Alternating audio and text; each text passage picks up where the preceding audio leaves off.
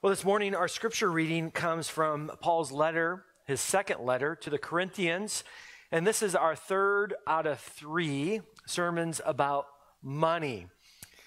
It's not everybody's favorite topic to talk about, but Jesus talks about money quite a bit. And Paul took Jesus' teachings on money and specifically applied it to the church. And this example, and uh, this is not an exhaustive sermon series on money. We could spend weeks and weeks on, on the topic, but uh, we're just hitting some highlights here. And this one, I think, is one of the most significant highlights because the way Paul speaks about giving for the church is so significant. It, it's informative, it's challenging, it's encouraging, and it, it's really rich. And this is why I wanted to, to come to this passage. And we, we chosen, and this is a work of our session, um, we've chosen this topic for these sermons because as people seeking to be faithful followers of Christ, money is one of those key areas where it's a it's a it's kind of like your dash gauge on the, the the car of your life as you're driving down the road. It's one of those gauges that tell talk about the health of our life with Christ, how we treat our attitude towards how we use money as one of those gauges.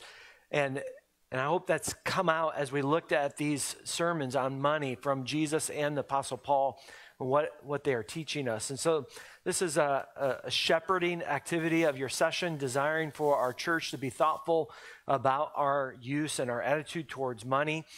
Um, and so this is our third and final sermon in this topic. And we're looking at Second Corinthians chapter 8 and chapter 9. I'm reading just two portions from each. It's a, a longer passage. Obviously, we're just hitting some highlights. We're not touching on all the details. It's rich. But I invite you to stand now as I read God's holy, inerrant, and all sufficient word. I'll start in chapter 8, reading verses 1 through 7. Paul writes, We want you to know, brothers and sisters, about the grace of God that has been given among the churches of Macedonia. For in a severe testing of affliction, their abundance of joy and their extreme poverty have overflowed in a wealth of generosity on their part.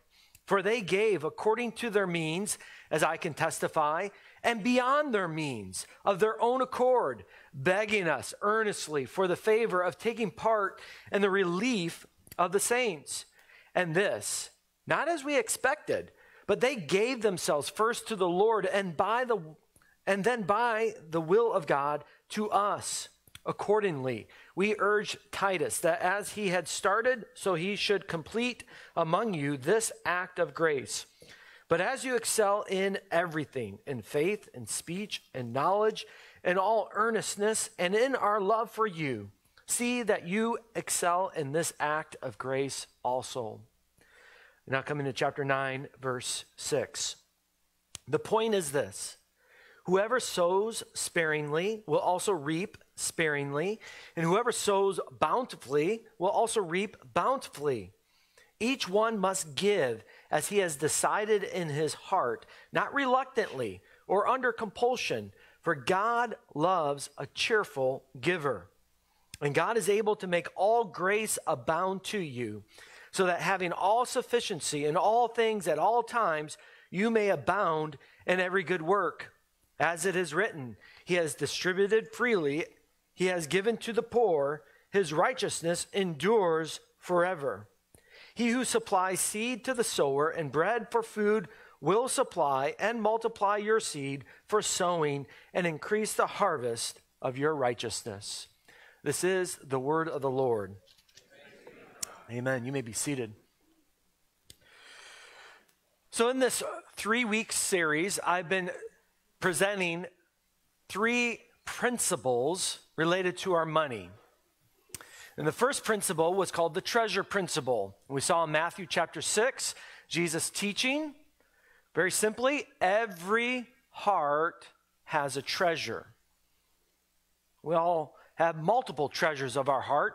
And one treasure in particular will rise to be the greatest, most prized treasure of the heart.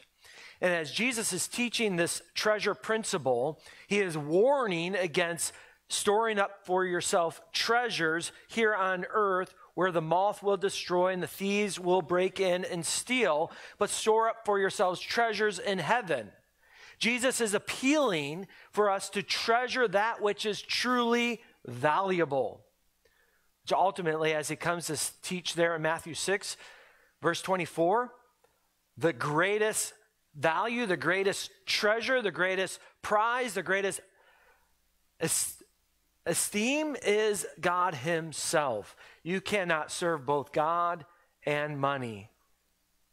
That's the treasure principle. Every heart has a treasure. Last week we came to Paul's teaching in 1 Timothy chapter 6, where we have the, the well known phrase, for the love of money is the root of all evil. But that's part of the warning of Paul. On the flip side, he is inviting the church, Christians, followers of Christ, to invest in that which is truly eternal, that which has that which is truly life. Invest in these things. And so we have the investment principle. That which you invest in will become your treasure. That which you give your time, your money, your energy, your mental focus, your gifts, your talents, your, your energy, that which you invest in will become your treasure. And that's what Paul is making an appeal there in 1 Timothy 6. It says, invest in these things, that which has truly life. Now we come to 2 Corinthians 8 and 9, and this is what I call the abounding principle. It's a word that's repeated throughout these passages about abundance and abounding and this affluence, this overflowing. It's a very simple principle. I'm trying to keep the, the principles simple so you remember them, and Lord willing, will allow them to be applicable in our lives. Every heart has a treasure. What you invest in will become your treasure. And the last one is grace abounds to those who treasure God above everything else. Grace abounds to those who treasure God above everything else. And so, this is Paul's heart, his passion. He's writing to the church at Corinth. He's on his third missionary journey, and he already has plans to go back to Jerusalem. There's a famine in the land of Judea. He's traveling in the region of Greece right now, and he knows of the famine back in Jerusalem and Judea, and he is receiving a collection, an offering of these churches in, the, in Greek, Greece to bring back to Judea. And the churches of Macedonia, this is Philippi, Thessalonica, Berea. You can read about them in Acts chapter 17. The churches in, in Macedonia have given generously to this offering that Paul is bringing back to Jerusalem.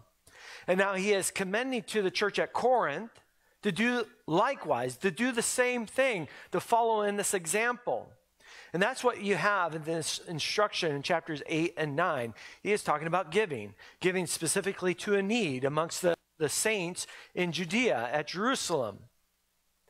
And what we see here, what we're going to draw out from the, the passages I read, we have the example of the Macedonians, and they are begging, begging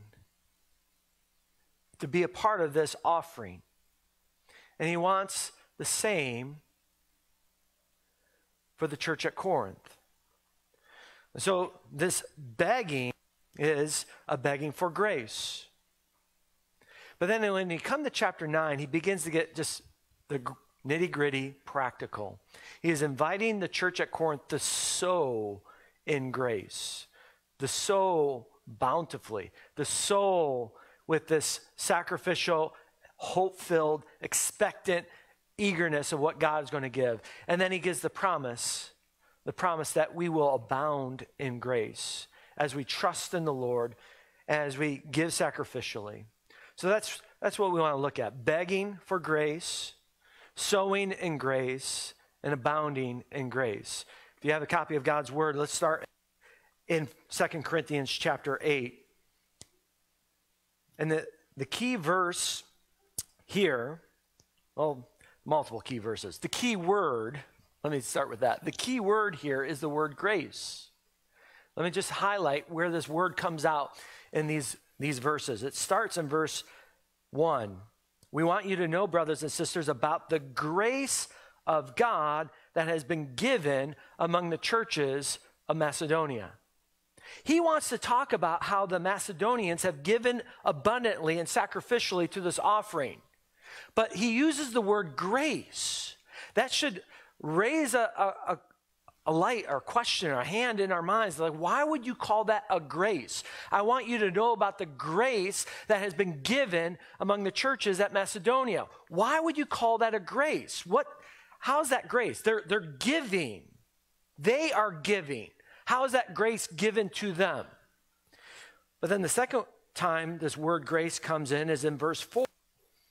And the translation I read is the ESV, and they don't translate it as grace, but they give the footnote and say, oh, by the way, this is grace. I don't know why they do this. But verse 4 they are begging us earnestly for the grace, it says favor, for the grace of taking part in the relief of the saints. It's very explicit. The grace is taking part in the relief of the saints. So they're begging. They're begging for this grace. And the grace is giving. Believe it or not, I've not had many people beg to give to a church. There have been some that have been very eager and they want to give and they want it to go well and they, they're, they're eager for that. But the begging, not, not many people have begged. Then he uses the word again in grace in verse 6. Accordingly, we've urged Titus that as he has started, so he should complete among you this act of grace. What's the act of grace? It's the Corinthians' participation in the offering. Paul sends Titus before Paul actually goes to Corinth. And Titus is to, to go and gather their, their offerings before Paul even comes. And so he's going there to complete this act of grace among them, that they would participate and give. And the fourth and final time here this word grace is used in verse 7. As you excel in everything in faith, speech, knowledge, all earnestness, and in our love for you, see that you excel in this act of grace also.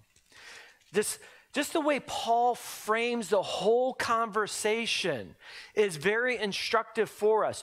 Giving is not a, a negative, it is not a burden. It is not something that is viewed in the churches by Paul, by the Macedonians, and he does not want to see the church at Corinth to view it in this way. It is not something of, oh, I guess we better give.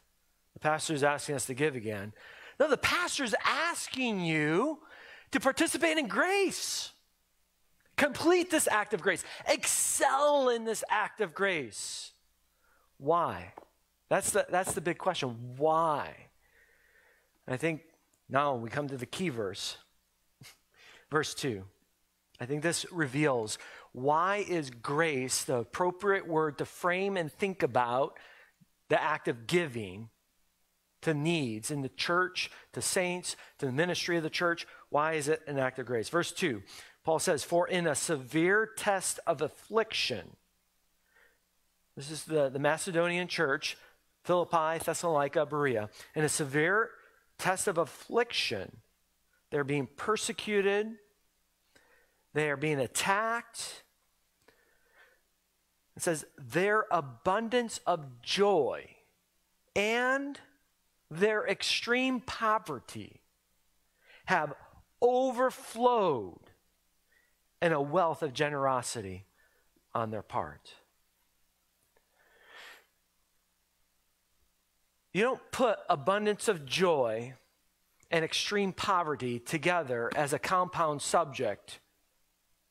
Yeah, I'm talking grammar, but that's what it is. You don't put abundance of joy and extreme poverty together as a, a compound subject that overflows in this verbal action of overflowing in generosity on their part. It's just mind blowing. That's not the American way. If you are in extreme poverty, there is a lack of joy. So, where does that come from? It comes from these Macedonian believers finding that the true source of joy is not in their money, it's in a relationship with God. It's through a Savior, Jesus Christ, who has reconciled them and brought them back into this right relationship. the hope of eternal life. Paul says of the Thessalonica church in chapter 1, verse 8 of 1 Thessalonians, he says, Your faith has been proclaimed not only through the regions of Macedonia, but even to the regions of Achaia, saying that they have such a delight and joy and hope and confidence in Christ. It's become headline news racing through the regions of, of Greece. Like, look at these guys. They're crazy. They love Jesus. They have famous faith. What Paul is saying here is that this generosity of the Macedonians, this generosity, their, their eagerness and, and leading to this overflowing act of generosity, generosity is an outward sign of invisible grace transforming a heart. Catch that? Generosity, a generous spirit, a gracious spirit, a courteous spirit. We could throw all kinds of fruit of the spirit in there a kind spirit, a loving spirit. But Paul's focused on generosity here. A generous, a generosity, a generous spirit is the outward sign of invisible grace transforming a heart. That's the Macedonian church. Paul wants every believer, every church, every follower of Christ to be transformed by the astonishing grace of Jesus Christ. To come to find that in Christ, all your hopes, all your dreams, all your longings, all your desires are satisfied in Christ. That there is no threat in a severe test of affliction, they have an abundance of joy. Once again, oxymoronic in the American context. Severe test of affliction equals lack of joy. They have an abundance of joy, an overflowing of joy, an abounding of joy. Not because of their circumstances are hunky dory. It's not because their bank accounts are big and rich and padded. It's because they have Christ. And it overflows into generosity. Generosity is the outward sign of the invisible grace transforming a heart. Use that as a litmus test for yourself. Your impulses to generosity. Dr. George Sweeting was the president of Moody Bible Institute for a number of years, but I didn't know him in that context. I grew up in the church where he attended, and his son was the pastor. And by the time I got to know Dr. George Sweeting, he was a very old, white haired man. And he's still living to this day, so that means he wasn't very old back then. But, you know, I'm a little kid. And I'm like, man, he's old. He's got all white hair. But he was, he had some of the, the pithiest statements. And that's just not one of my strengths. And so it's one of my weaknesses. But pithy equals really helpful to remember. And they stick with me. Here I am. I'm a grown man. 40 years later, remember his statement never deny a generous impulse. I didn't make it up. George Sweeting. Never deny a generous impulse. Why? Because generosity is an outward sign of the invisible grace transforming our hearts. And to deny a generous impulse is to quench the Holy Spirit who might be working in your heart to, to be one who's generous. And this is what Paul wants for the church at Corinth. He's look at the Macedonian church. Look at their example. They they have been transformed by this astonishing grace and they are generous. It's an outward sign of this inward reality happening. Let's do this at Corinth as well. So much more could be said there, but let's continue on going to chapter 9, skipping great passages. Maybe if you're begging for the giving, maybe I'll give more on see if you're begging for grace. No. he talks about Jesus, which is awesome. I'm skipping that, believe it or not. So, chapter 9, verse 6, it's kind of the, the summary of Paul's instruction to Corinth. The point is this I mean, he's summarizing. So, the church at Macedonia was begging for this grace. He wants the church at Corinth to beg for this grace. And as your pastor, I want you to beg for this grace. I want you to beg for outward signs of the transforming power of grace in your life. And generosity is a mark of that. Now he's going to get practical, sowing in grace. So, verse 6, the point is this whoever sows sparingly will also reap sparingly. Whoever sows bountifully will also reap bountifully. Each one must give as he has decided in his heart, not reluctantly or under compulsion, for God loves a cheerful giver. This is straight up practical pointers, and there's three that Paul emphasizes here. So I'm going to, I'm going to call it grace empowered generosity. So, building off of what we saw in chapter 8, generosity is the outward sign of this inner reality of the, the work of grace. So, grace empowered generosity is sacrificial, intentional, and cheerful. Sacrificial, intentional, and sacrificial. Uh, I said that twice then. Cheerful is the third one. So, sacrificial. Verse 6, when he talks about those who sow sparingly, reap sparingly, those who sow bountifully, reap bountifully, he is inviting, he is instructing the church to be sacrificial, to be bountiful in what you sow and what you give and how you pour yourself out. If you're calculated in how you give, and you put other things first before you give, you're not giving sacrificially. If you look at your income, whether you look at it weekly, monthly, annually, and you look at it and you create your spreadsheet if that's your thing and you love it, and you're looking at, well, here's my housing expenses, here's my food expenses, here's my kids' activities expenses, if you have kids, if you don't, here's my entertainment expenses, here's my clothing expenses, here, da da da da da da da, what, X nay that, cross out that, subtract that, da, da, da, oh, this is what's left over. This is what we could give to the church. This is what we could give to the ministry of the work of, of Christ. You are not sowing bountifully, you are sowing sparingly. You are putting other things first before this act of giving, of being generous.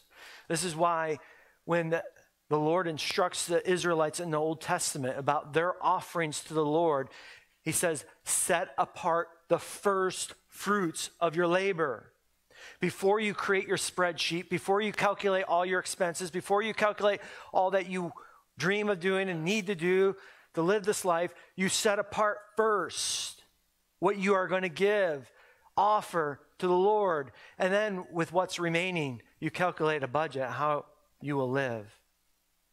That's what Paul is commending. This and, and sacrificially is he's pushing Christians to think beyond just the calculated precision of, well, we need all of this for this standard of living. I can only give this. What can you sacrifice? What can you give up? What can you go without? So Paul is calling for sacrificial giving. But then, secondly, he says intentional. In verse 7, each one must give as he has decided in his heart, not reluctantly or under compulsion.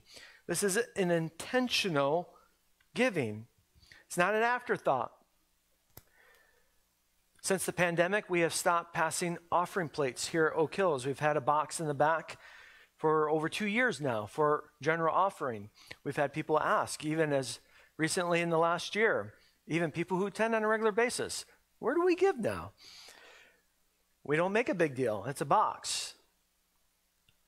But the Bible calls you to make a big deal. Each one should give. Each one should give as he has decided in his heart.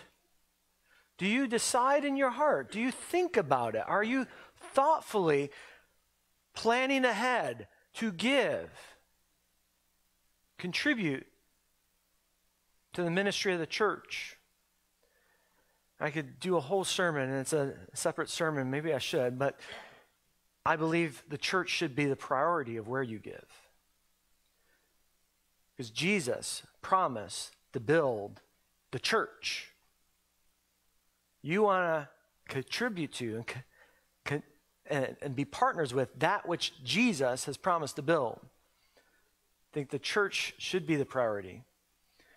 Parachurch organizations are great, missionaries are great. But part of the reason why, as a church, we give to missionaries because we want the church to be the sending agency. That, and there's a relationship with our missionaries where we are praying for them and supporting them, encouraging them, so that they don't have just random individuals, but the church is supporting them. I think the church should be the priority. But you think about it. That's so sacrificially, intentionally, I mentioned the offering plates just because I remember as a kid,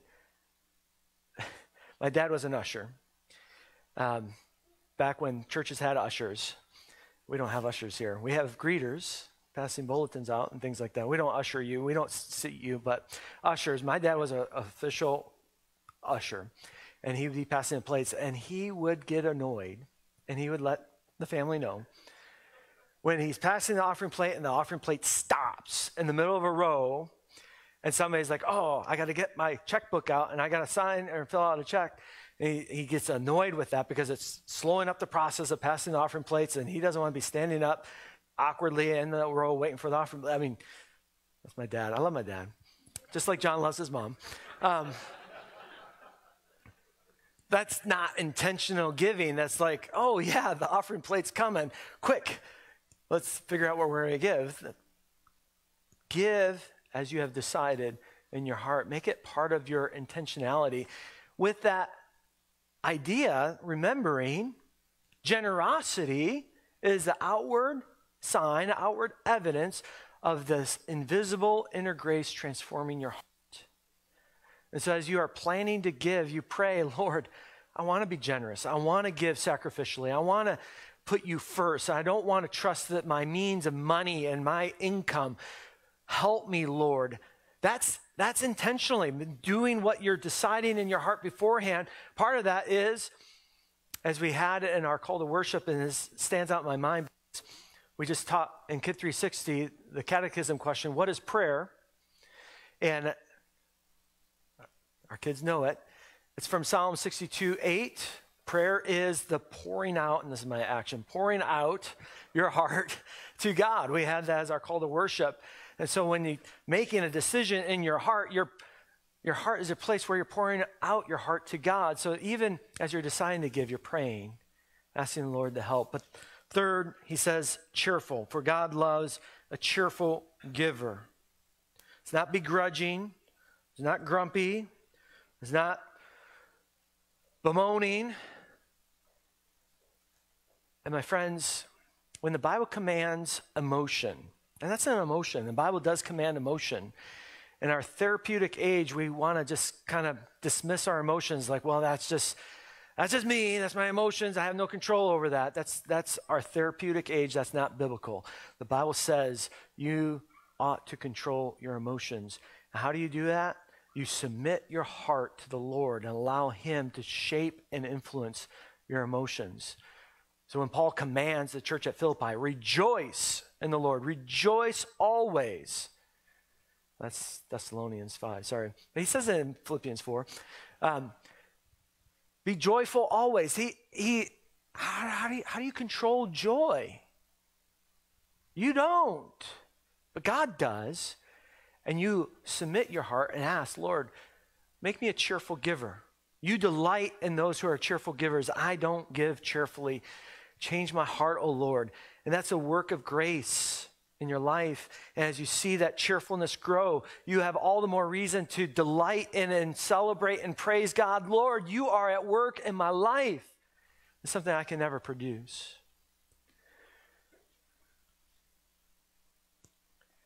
I have some statistics here. These statistics are, I, I read just to, as tools to help you gauge your giving. Do you give sacrificially, intentionally, and cheerfully? Here at Oak Hills, we practice uh, where I, I guess it's a principle, it's a guideline. I do not know what anybody gives here at Oak Hills. Our elders do not know. I'll be honest, there's a part of me that questions that. It's like, well, how do I hold accountable the sheep that I'm called to shepherd and lead? I, I don't know what you give. I don't know what you make, your income. I don't know your life circumstances totally about your finances. I don't pry into that. I don't know your, your credit card debt and your mortgage and school debt, whatever. I, I don't, we don't, I don't know. That's American thing or, or what? That's trying to be respectful. Don't want to pry too much. And so I'm going to read some stats that might be feeling like they're prying, but I'm just saying up front, I don't know.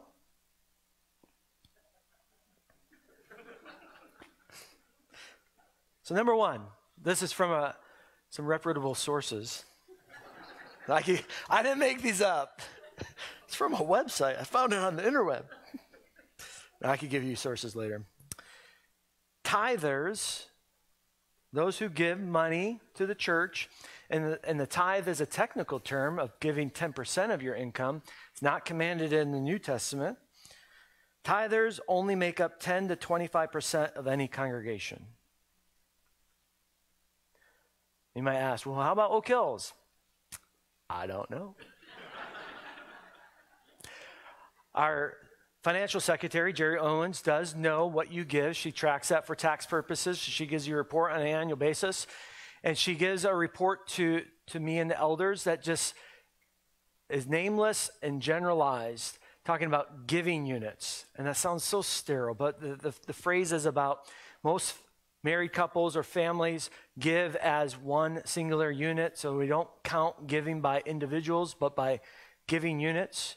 And here at Oak Hills, we have 32 giving units. So if you're looking around how many families are in our church, eh, 40 to 45 call our church home. So that's higher than 10 to 25%. So I think Oak Hills is doing good, but I don't know what level the giving is at. So, number two, this is an interesting fact. Eight out of 10 people who give to churches have zero credit card debt.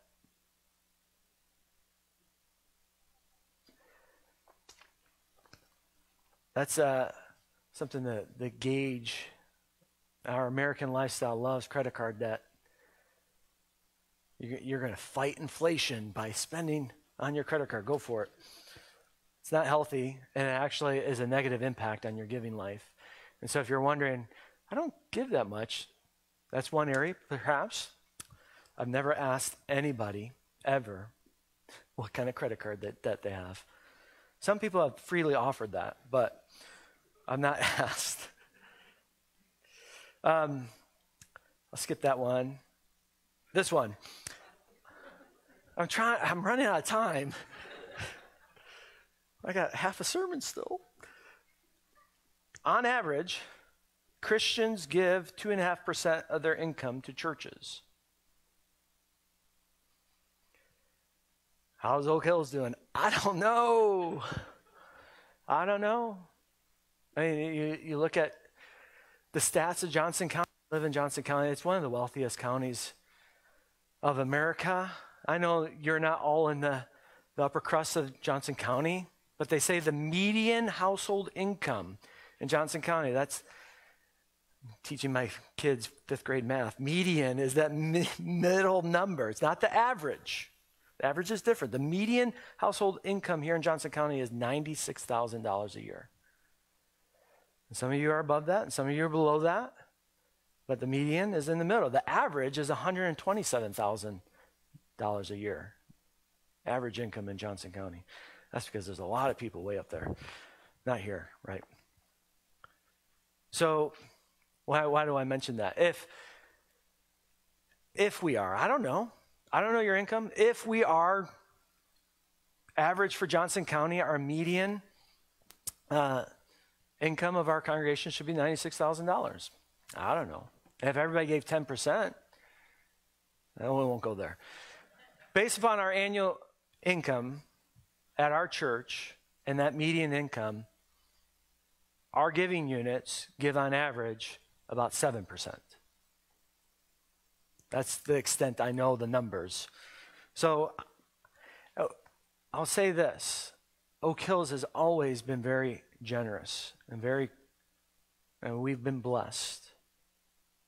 And I, I would say that there is a work of grace shown through the generosity of our church. But Paul's command in 2 Corinthians 8 7 is excel in this grace. I know my own heart and my own life, I do not excel in this grace. I think this is interesting. I do want to read this, and this is probably another sermon. Let's talk about generations. We like talking about generations. Boomers, you know who you are. Boomers make up 30% of the U.S. population. They make up 42% of the donor population. It's not the amount that's given, it's just the, the number of people giving. They make up beyond their population. Gen X, that's me, if you're wondering. We make 27% of the population, and we only make up 19% of the donor population.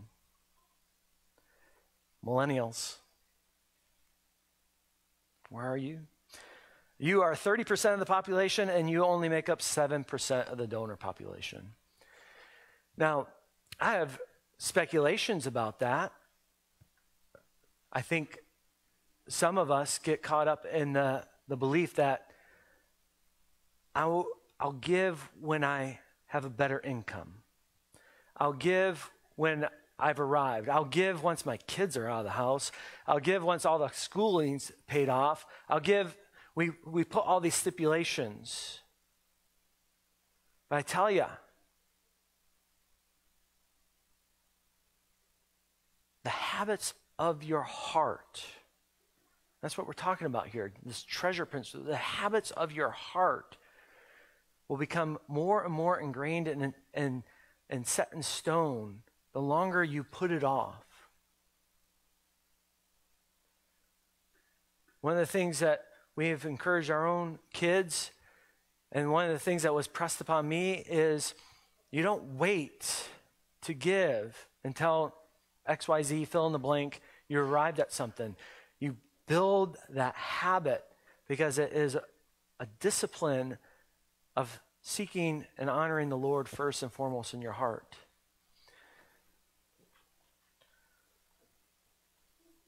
So, do you give sacrificially, intentionally, and cheerfully?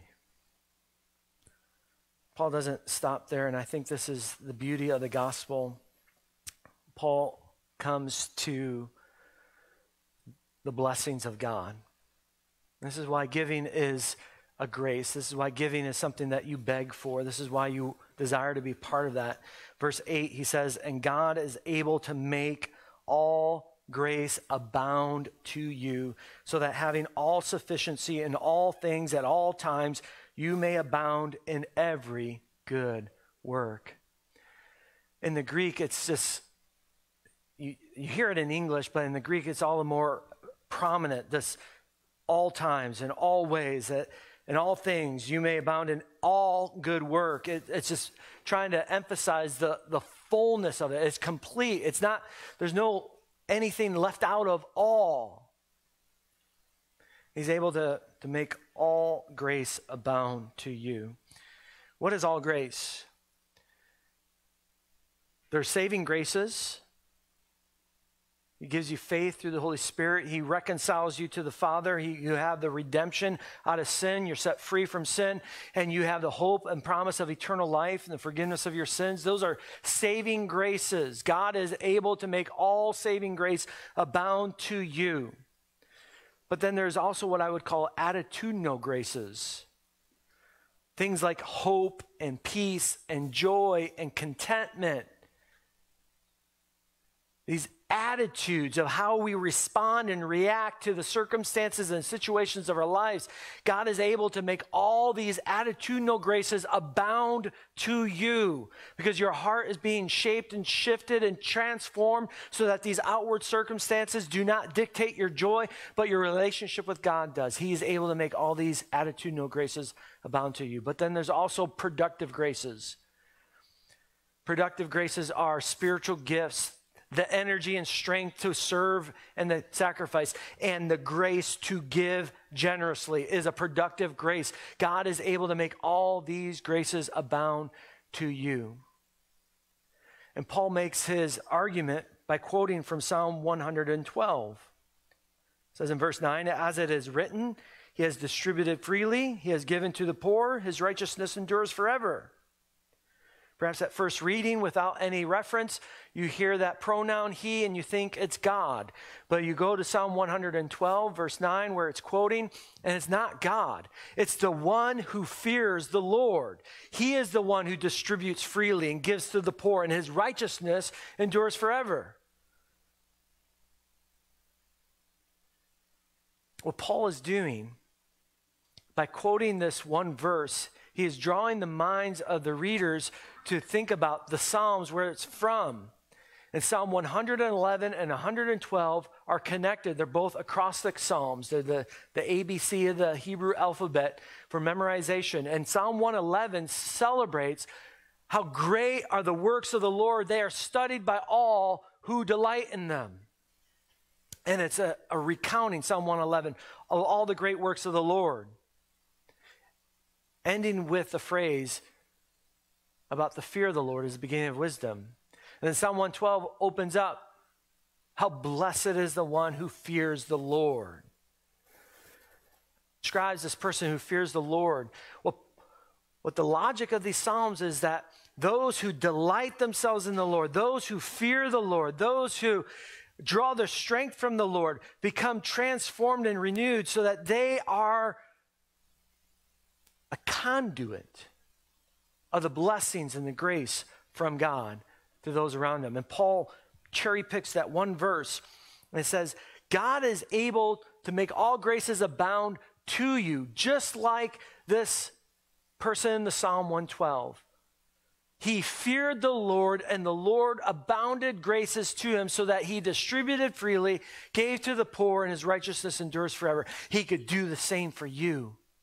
He can make you a generous, abundant, overflowing person to bless people around you. God wants you to be a conduit of His grace to the people you come in contact with. And it's that grace that brings true joy and satisfaction. I don't think there's a promise here of abundant wealth. If you give more, you're going to be richer. I don't think that's Paul's promise here. I think what Paul is promising is when you trust the Lord, when he becomes your greatest treasure, when you fear the Lord, when he is the one that you esteem, this, this abounding principle, grace abounds to those who treasure God above all else. You will find in your life Perhaps not wealth and riches and comfort according to the American dream, but you will find the greatest joy, the greatest hope, the greatest satisfaction, and you'll see yourself being used as a conduit, a blessing to the people around you, and God will be delighted to shine his glory upon you. It's when we try to hoard things for ourselves and protect our own security by our own means, we are cutting off our opportunities to be used as a blessing for others. God says, let it go. Release it and trust that I am able to make all grace abound to you. Because when we cling, we limit the grace of God in our lives.